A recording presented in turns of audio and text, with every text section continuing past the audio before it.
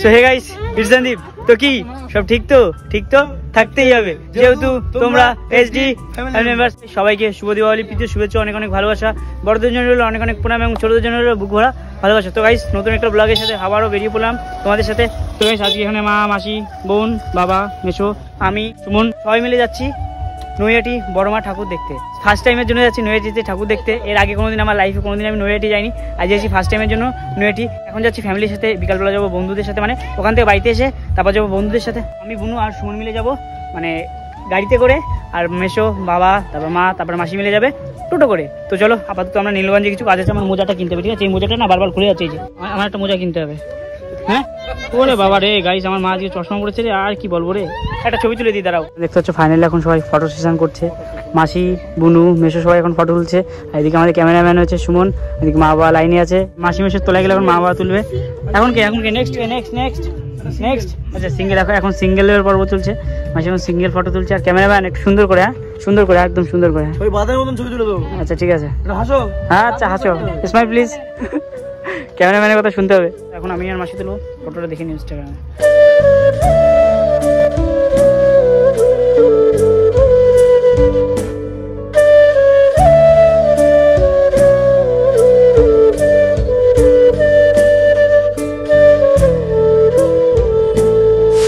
যাই হোক guys finally কিন্তু আমরা ব্যারাকপুর স্টেশনে চলে এসেছিলাম। মানে স্টেশনের কাছাকাছি আছি।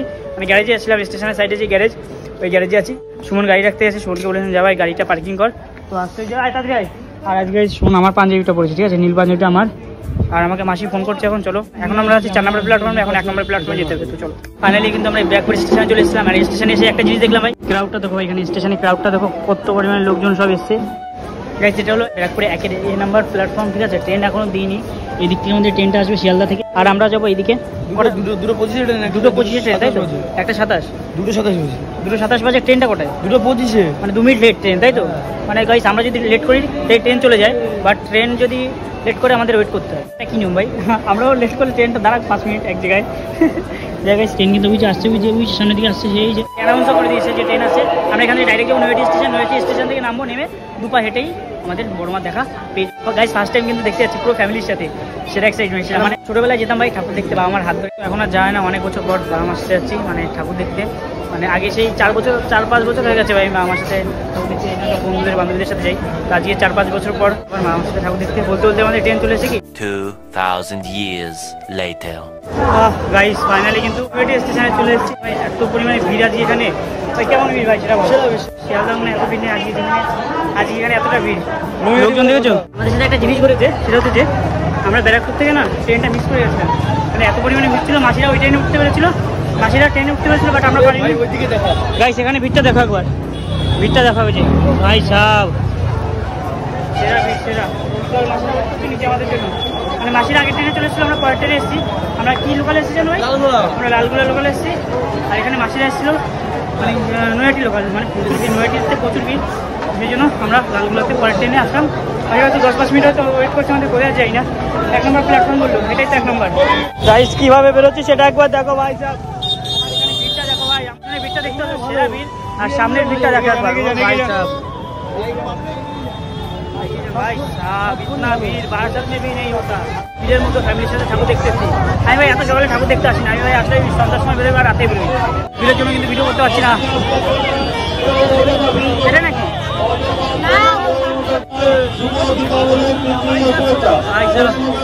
ভাই কালী ঠাকুরটা দেখো কত সুন্দর লাগছে কিন্তু।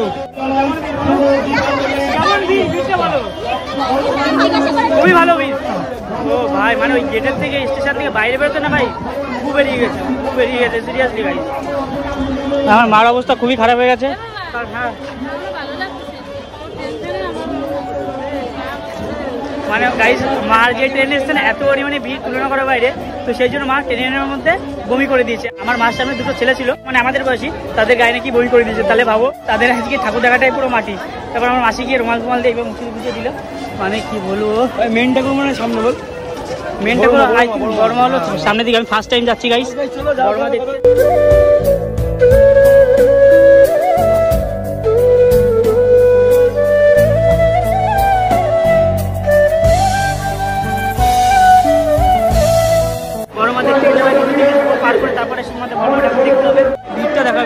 ভাই সাহ আর পেছনে ভিড়টা তো আমি দেখতে পাচ্ছি না কেউ তোমার সাথে কথা বলছি।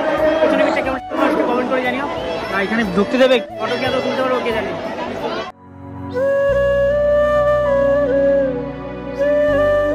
সো গাইস ফাইনালি কিন্তু বর্মার সামনে চলে এসেছি। এটা হলো আমাদের নয়াটির বর্মা। সাইড যাবে শোনো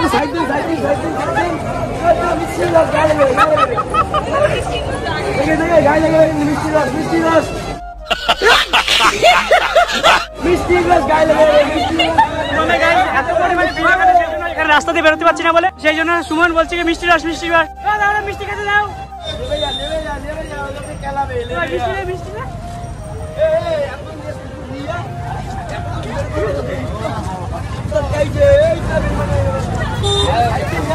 দে, মিষ্টি কি? গাইস ফাইনালি কিন্তু আমরা বড়মার ঠাকুর দেখে বেরিয়ে চলে এসেছি স্টেশনের বাইরে। স্টেশনের বাইরে এসে আপনার আমেরিকায় যে স্ট্যাচু হয় না? Statue of liberty statue of liberty যে স্ট্যাচুটা আছে সেটা হলো আমেরিকায়। সেই স্ট্যাচুটা এখন দেখতে চলেছি। সেই যে ভাই সেই স্ট্যাচু এই যে দেখতে পাচ্ছ আমেরিকার স্ট্যাচু এটা এখন দেখতে চলেছি আমরা। তো চলো প্যারিসের। হ্যাঁ প্যারিস এন্ড আমেরিকার।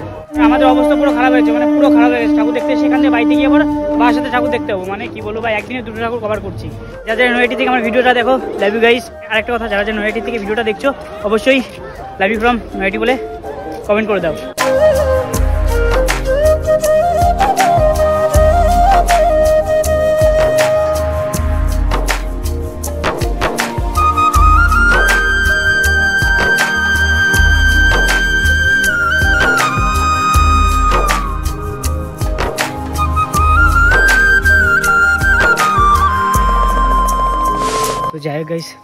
কিন্তু অনেকক্ষণ আগে বাড়িতে চলে এসেছিলাম। বাড়িতে এসে এডিট ফেডিট করছিলাম। মানে কালী পুজো বলতে বলতে কালী পুজো চলে এলো, আবার বলতে বলতে কালী পুজো শেষ হয়ে গেল। মানে আর একটা দিন হয়তো আছে বারাসাত ঠাকুর দেখা যাবে। মানে বারাসাত কালী পুজো তিন দিন থাকে। তো একদিন গেলাম নয়াটি একদিন যাব বারাসাত, আর একদিন কোথায় যাওয়া যায় সেটা কোনো প্ল্যান করিনি। মানে মোট তিনটে থেকে চারটে ব্লগ দেবো তোমাদের। তো এটা হলো এক ফার্স্ট নাম্বার ব্লগ মানে ফ্যামিলির সাথে ঘুরতে গেছিলাম। তো ফ্যামিলির সাথে দুদিন যাব ঘুরতে ভাবছি। তো দেখা যাক কি হয়, কি না, কতটা সফল হতে পারি। তখন ঘড়ি কাটা বেশি বাজে না, ওই চারটে উনপঞ্চাশ মতো বাজে। যাই হোক গাইস আজ ভিডিওটা বেশি বড় করছি না। বেশি বড় কোথায় আর হয়েছে? বেশি বড় হয়নি তো, সাত মিনিটের মতো ব্লগ হয়েছে। সাত মিনিটের ব্লগ কেউ দেখে নাকি? এত পরিমাণে ভিড় ছিল, এত পরিমাণে সাউন্ড হচ্ছিল না, ঠিকভাবে কথাই বলতে পারছিলাম না। তো সেই জন্য ব্লগটা বেশি বড় করলাম না। সাত থেকে সাড়ে সাত মিনিটের মতো ব্লগটা রাখলাম। যদি গাছ আজকের ব্লগটা ভালো লেগে থাকে ফ্যামিলির সাথে অনেকদিন পর ব্লগ করলাম কিন্তু মানে আমার করাই হয় না ফ্যামিলির সাথে ব্লগ বন্ধু বান্ধবীর সাথে মেনলি ব্লগটা করায়। তো ভাই চলো, আজকের ব্লগটা এখানে শেষ করছি। যদি আজকের ব্লগটা ভালো লেগে থাকে, অবশ্যই লাইক করুন চ্যানেল সাবস্ক্রাইব করে পাশে দেবে কারণ তোমার দেখতে সাপোর্ট আমাকে অনেকটা মোটিভেট করো তো please do subscribe and keep supported